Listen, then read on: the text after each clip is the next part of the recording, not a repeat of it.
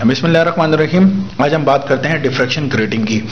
ये न्यूमेरिकल के हवाले से मैं आपको समझाने चाह रहा हूँ। अच्छा डिफ्रैक्शन ग्रेटिंग क्या होती है? क्लास देखिए, बड़ी आसान सी बात है। कि शीशे की प्लेट होती है हमारे पास, और इस शीशे की प्लेट के अंदर हमारे पास ये जो वर्टिकल लाइंस है, सिर्फ़ ये वर्टिकल लाइन्स होती है। हॉरिजॉन्टल लाइन तो मेरी कॉपी की लाइंस है ओके तो ये वर्टिकल लाइन्स लगी होती हैं, बहुत इनके दरमियान गैप बहुत कम होता है, बहुत नैरो स्पेस होती हैं, और ये जो लाइन्स होती हैं ना, ये लाइन्स काम करती हैं किसके तौर पर शार्प एच के तौर पर मतलब ये जो लाइन है, ये जो लाइन आ रही है और ये दूसरी लाइन है, यानी मैं जरा कुछ मार्क कर देता हूँ ताकि आपको समझने में आसानी हो। फ़र्ज़ करो कि ये लाइन और ये लाइन जिन दो लाइन की मैं बात कर रहा हूँ, ये जो दो लाइंस हैं, ये लाइन किसके तौर पर काम कर रही होती है? ये लाइंस काम कर रही होती है शार्प एजिस के तौर पर तो डिफ्रेक्शन की जो थ्योरी है, वो हमें कहती है कि जब भी लाइट किसी शार्प एज से टकराती है तो उस शार्प एज से बैंड कर जाती है। तो इन इन दो लाइनों के दरमियान जो गैप है, इस गैप में से जब लाइट गुजर रही होती है तो दो लाइंस जो हैं, ये शार्प एजिस हैं तो इसमें से गुजरते हुए लाइट क्या करती है? बैंड करती है। तो ये ये जो चीज़ है, ये हमारे पास कहलाती है डिफ्रेक्शन ग्रेटिंग यानी डिफ्रेक्शन करवाने वाली ग्रेटिंग ग्रेटिंग हम कहते हैं, उर्दू में कहते हैं जाली को। तो समझ लें, बिल्कुल जाली की तरह एक एक लेटिस की तरह या एक जाली की तरह आपको नज़र आ रही है, ठीक है? तो इसमें जो दो लाइंस हैं, इन दो लाइंस के दरमियान जो गैप है, किसी भी दो लाइंस के दरमियान जो गैप है, वो कहलाता है, इसे हम कहते हैं डी स्मॉल डी ये जो फार्मूले के अंदर लिखा हुआ है, और इसे हम कहते हैं spacing between the lines right अच्छा थीटा क्या होता है? ज़ाहिर सी बात है, जब लाइट इस स्पेस में से गुजरती है, दो लाइंस के दरमियान स्पेस में से तो ये लाइन जो शार्प एजेस के तौर पर एक्ट कर रही है, इसमें से गुजरते हुए लाइट बेंड करती है। तो वो जो एंगल डेविएशन का एंगल बनाती है, वो एंगल को हम थीटा कहते हैं। तो इसको मैंने एंगुलर डेविएशन या एंगल कहते हैं हम लोग। अच्छा जो लाइट है, उसकी वेव को हम लैमडा कह रहे हैं। अब जो लाइट जब इसमें से डिफ्रैक्ट होती है तो आगे हम उसको क्या करते हैं कि किसी लेंस में से गुजार के हम उसका इंटरफेरेंस नोट करते हैं। तो वो जो इंटरफेरेंस होता है, वो फ़र्स्ट ऑर्डर होता है सेकेंड ऑर्डर होता है थर्ड ऑर्डर होता है उसको हम एम से रिप्रेजेंट करते हैं। तो ये जो हमारा एम है, ये हमारे पास कहलाता है फ्रिंज का ऑर्डर कहलाता है। अच्छा डिफ्रेक्शन के अंदर एक खास बात याद रखिएगा, जो कि मैंने न्यूमेरिकल जिस तरह अपलोड कर चुका हूँ यंग डबल स्लिट के इंटरफेरेंस ऑफ़ लाइट के, ठीक है तो Young double slit interference of light interference में एम की वैल्यू ज़ीरो से स्टार्ट होती है, जबकि डिफ्रेक्शन में एम की वैल्यूज़ वन से स्टार्ट होती है। इसका मतलब यह है कि अगर मैं डिफ्रेक्शन में कहूँ फ़र्स्ट डिफ्रेक्शन तो एम की वैल्यू वन अगर मैं कहूँ सेकंड डिफ्रेक्शन तो एम की वैल्यू टू थर्ड डिफ्रेक्शन तो एम की वैल्यू थ्री तो स्ट्रेट फ़र्स्ट का मतलब वन सेकंड का मतलब टू और थर्ड का मतलब थ्री जबकि इंटरफेरेंस में इस, इससे जरा डिफरेंट बात होती है। वहाँ वैल्यू ज़ीरो से स्टार्ट हो रही थी। वहाँ फ़र्स्ट वैल्यू ज़ीरो होती है और सेकंड वैल्यू वन होती है। तो ये एक डिफरेंस प्लीज़ याद रखिएगा कि डिफ्रेक्शन के न्यूमेरिकल्स के अंदर आपकी एम फ़र्स्ट ऑर्डर का मतलब वन ही होगा सेकंड ऑर्डर का मतलब टू होगा और थर्ड ऑर्डर का मतलब थ्री होगा। ठीक है? अच्छा नॉर्मली होता यह कि न्यूमेरिकल के अंदर जो चीज़ आपने समझनी है जो थ्योरी में आपको आज समझा देना चाहता हूँ, वो ये है कि ये जो ग्रेटिंग होती है, यानी ये जो जाली होती है शीशे की प्लेट होती है, इसके ऊपर लिखा होता है कि कितनी लाइंस इसके अंदर ड्रॉ की गई हैं।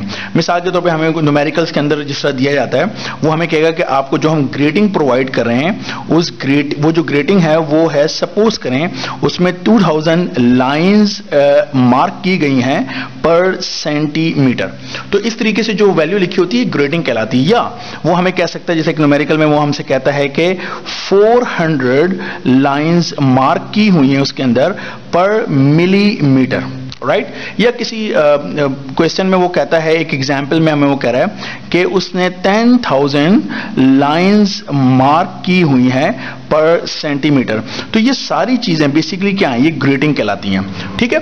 तो न्यूमेरिकल के अंदर हमें ग्रेडिंग दी होती है। तो सबसे अहम बात न्यूमेरिकल को सॉल्व करने के लिए ये है कि हमने ग्रेडिंग से बेसिकली किसकी वैल्यू कैलकुलेट करनी होती है क्लास ये याद रखिएगा डी की। बस न्यूमेरिकल में टोटल जान इतनी ही है कि आपने ग्रेडिंग से डी कैसे निकालना है। ग्रेडिंग से डी निकाल लिया फॉर्मूला आपके सामने, इसमें आपने पुट करना है, आपका आंसर स्ट्रेट अहेड आ जाएगा, ठीक है?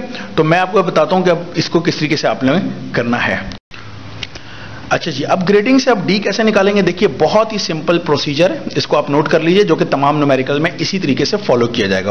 वो तरीका ये है कि फ़र्स्ट करते हैं, जैसे हम पहली बात कर लेते हैं कि हमें एक ग्रेडिंग दी हुई है, उसने लिखा हुआ है कि जो ग्रेडिंग है, वो हमारे पास है, कितनी है? Is equal to two thousand lines हैं पर सेंटीमीटर राइट क्लास हमने करना क्या है? जो फ़र्स्ट स्टेप ये है कि मुझे इस सेंटीमीटर को मीटर में कन्वर्ट करना है। तो बहुत सिंपल सी बात है। देखो कैसे? आपने लिखा 2000 लाइंस राइट और ये जो सेंटी है सेंटी का मतलब क्या होता है? सेंटी का मतलब होता है ten raise to power minus two ये सेंटी प्रीफिक्स है। और साथ में मीटर है तो आपने मीटर लिख दिया। तो आपने सेंटी की वैल्यू पुट कर दी। राइट ये मैं आपको बता देता हूँ कि जो टेन की पावर माइनस वन होती है, उसे हम कहते हैं डेसी और स्मॉल डी से रिप्रेजेंट करते हैं।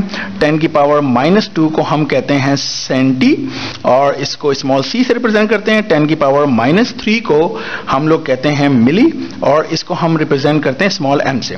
तो अब सेंटी है ना? सेंटी स्मॉल सी तो टेन की पावर माइनस टू तो मैंने सेंटी प्रीफिक्स की वैल्यू टेन की पावर माइनस टू रख दी।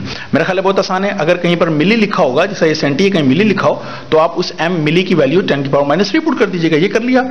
अब जो नेक्स्ट स्टेप है, वो आपको बताएगा डी की वैल्यू कैसे निकालना है अपने D this implies that D ऐसे निकालना है कि जैसे ही आपने ये आंसर लाइन्स पर मीटर में कन्वर्ट किया, इसको रेसिप्रोकल कर दो। क्या मतलब?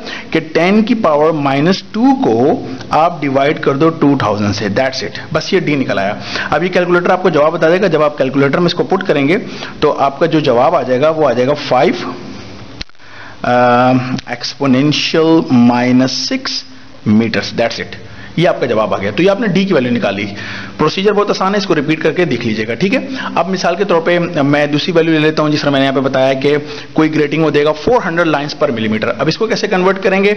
इसका प्रोसीजर बिल्कुल इसी तरीके से कि आपने ग्रेटिंग लिखी कि जो आपको ग्रेटिंग दी हुई है grating that is equals to 400 lines per millimetre right class तो मैंने क्या बताया सबसे पहले? इस मिलीमीटर को मीटर में कन्वर्ट करें। और उसका प्रोसीजर मैंने क्या बताया कि आपने 400 लाइंस लिखा और आपने ये जो प्रीफिक्स है अच्छा ये मीटर को मीटर रहने थे ये जो मिली प्रीफिक्स है, अब मिली की वैल्यू कितनी मैंने बताई? 10 की पावर माइनस थ्री। तो आपने 10 की पावर माइनस थ्री पुट किया। बस दैट्स इट इसके बाद अगले स्टेप में आप डी निकालने वाले हैं, और वो डी कैसे निकलेगा? कि आपने 10 की पावर माइनस थ्री को डिवाइड कर दिया किससे? 400 से। ठीक है? तो यहाँ से आपके पास आ जाएगा दिस बिकम 2.5 और दिस बिकम शायद एक्सपोनेंट माइनस फाइव चेक कर लीजिएगा। मैं बगैर कैलकुलेटर के इस पर कर रहा हूँ, ठीक है?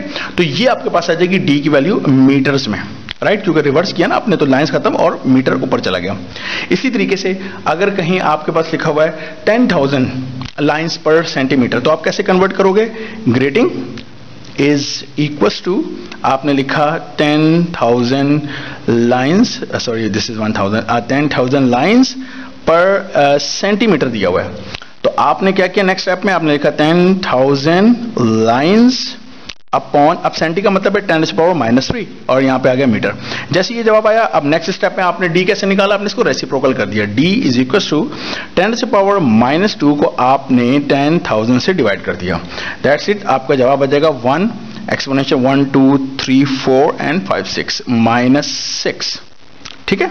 ये मीटर आ जाएगा, ये डी आ गया। तो ये डी जो हम कैलकुलेट कर रहे हैं ग्रेटिंग से, बस यही इस न्यूमेरिकल के अंदर टोटल जान है जो आपने करना है, उसके बाद हम इस फॉर्मूले के अंदर पुट करेंगे और हमारा आंसर निकलता चला जाएगा, ठीक है? Thank you so much